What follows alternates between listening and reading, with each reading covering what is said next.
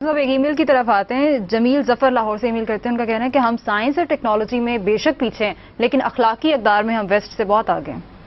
اخلاقی اقدار کا تعلق آپ کے لباس کے ساتھ نہیں، کہ شلوار پہنا ہے اسکرٹ پہنا ہے۔ آپ سمجھ رہے ہو؟ آپ نے بلاؤز پہنا ہے یا قمیض پہنی ہے؟ اس کا تعلق بتاؤں۔ وہ حضرت علی سے کسی نے کہا کہ فلانا سومو سلاد کا بڑا پابند، انہوں نے کہا، چھوڑو اس کو۔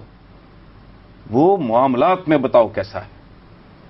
تو ہم، ہمارے ہاں تو کوئی ڈھنگ کی چیز ہے ہی نہیں۔ اللہ معاف کرے، یہ گلا سڑا ہوا معاشرہ ہے جس کے پلے ندامت بھی نہیں رہ گئی۔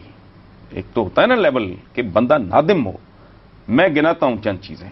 پوری دنیا، مہذب دنیا میں اس کا آپ کو ہزارواں حصہ بھی اس گندگی کا نظر آئے۔ میں اپنی گردن کاٹ کے آپ کے حضور خود پیش کر دوں گا۔ سنتے جاؤ اب۔ کم تولنا، ملاوٹ، جھوٹی گواہی، عدالتیں جا کے دیکھو، ڈھیر لگے ہوئے ہیں، پیشہ ور گواہوں کے۔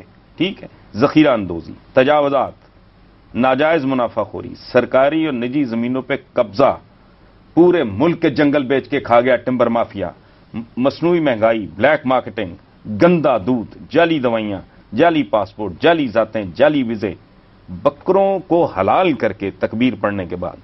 گندا پانی انجیکٹ کرتے ہو بیچ میں، تمہارے ڈاکٹر ہڑتال کرتے ہیں، تم اخلاقیات کی بات، کون سی اخلاقیات؟ پلے کیا ہے؟ مہذب دنیا میں جا کے کہو، پوچھو کہیں یہ دودھ میں ملاوٹ تو نہیں، ان کو تمہاری بات سمجھ نہیں آئے گی۔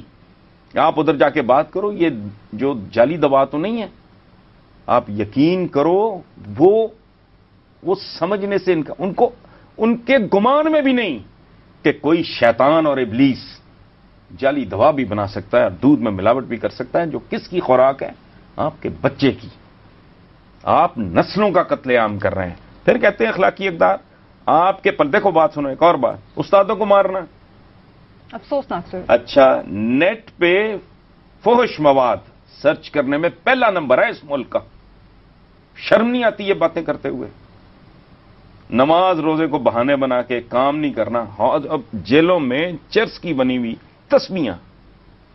حج بیچ رہے آپ، حاجی بیچنے والے لوگ۔ کس منہ سے کہتے ہو؟ گندی گلیاں۔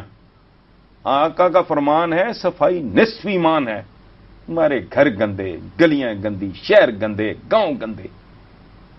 میں ہنسا کرتا ہوں، کبھی ٹریول کرتے ہوئے نا وہ کہتے ہیں کہ آہستہ کریں، رفتار آہستہ کریں، آگے آبادی ہے۔ میں کہتا ہوں، نہیں، آہستہ کرو، آگے گندگی ہے۔ یہاں انسان کی موجودگی کا مطلب گندگی کا ڈھیر ہے۔ کون سی چیز؟ حضور نے قدم قدم پہ فرمایا، یہ ہم اتنے، میں اپنی بات کرتا ہوں، میں اتنا بے حیا ہوں، میں اتنا بے شرم ہوں کہ میں کہتا ہوں، آپ آپ کی حرمت پہ جان قربان ہے، آپ کی ہدایات کے بارے میں۔ وہ قدم قدم پہ یہ تو ہے ہی نہیں۔ وہ جو کہتے ہیں، جو ملاوٹ کرتا ہے، وہ ہم میں سے نہیں ہے۔ جو جھوٹ بولتا ہے، وہ ہم میں سے نہیں ہے۔ جو ذخیرہ اندوزی کرتا ہے، ہم میں سے نہیں ہے۔ جو کم تولتا ہے وہ ہم میں سے نہیں ہے۔ وہ تم تو تم میں سے ہو ہی نہیں۔ تم پہ تو ایک جعلی لیبل۔ ایسے ہی ہے جیسے کسی معلوم مسلی کسی موچی سے کوٹ سلوا کے میں اوپر سیبلو کا ٹیگ لگا لوں۔ یہ ہے ہماری اصل حقیقت۔ اخلاقی اقدار۔ ویسٹ میں تصور نہیں۔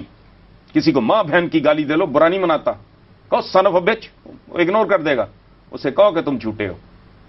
میں دیکھتا ہوں تم جاتے کہاں ملاوٹ دو نمبری گندگی غلازت کے ڈے سارے گھر کا کوڑا بار۔ یہ معاشرہ تمہارا حکمران کرپٹ۔ نیچے تک پریزیڈنٹ سے لے کے پٹواری تک خدا کا خوف کرو۔ اخلاقی اقدار میں آگے۔ اخلاقی اقدار کو مذاق سمجھا ہوا ہے۔ کوئی اور بات کریں؟ کچھ اور بھی روشنی بات سنیں۔ چلتے چلتے ایک اور۔ یہ وہ معاشرہ ہے بندہ اغوا کر کے اس کی سرجری کر کے اس کا گردہ نکال کے بیچ دیتے ہیں۔ اور اس کو کہیں ویرانے میں پھینک دیتے ہیں، وہ ہوش میں آتا ہے تو دیکھتا ہے گردہ غائب ہے۔ کو خدا کا خوف کرو۔ مردہ فروشو کس منہ سے یہ کہنا؟ کہ اخلاقی طور پہ ویسٹ سے بہتر ہے۔ نہیں ہے۔ میں مروب نہیں ہوں۔ میں ان سے لے کے نہیں کھاتا۔ لیکن جس کو احساس ہی نہ ہو۔ آپ نے اگر ایک خوبی ہے، میں رشک سے دیکھوں گا اسے۔ اس میں مروبیت کیا آ گئی؟ اگر آپ مجھ سے قابل ہو میں چھ گھنٹے پڑھتا ہوں، آپ دس گھنٹے پڑھتے ہو۔ Why shouldn't I appreciate you جس دنیا میں زندہ ہو، جس میں سانس رہ رہے اس کی ایک چیز بھی تم نے کانٹریبیوٹ